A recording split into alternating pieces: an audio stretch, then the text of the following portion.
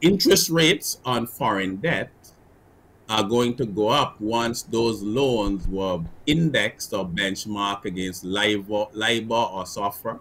And our foreign debt has gone up significantly since 2008 because with the debt restructuring and really limited domestic bond financing for the government, there's been a heavy reliance on the multilateral development banks to provide that financing.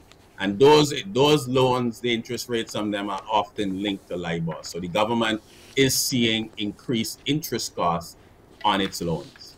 That extra money has to come from somewhere.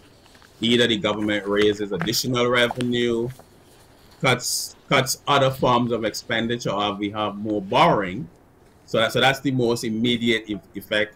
Now, interestingly, the government of Barbados is sort of taking a, a different approach where it's saying okay, we enter these loans at these rates, but this these spikes or increases are unprecedented, and the global financial system must respond or should respond in a way that offers countries like Barbados and other developing countries some form of relief for these spikes in interest rates which have nothing to do with us.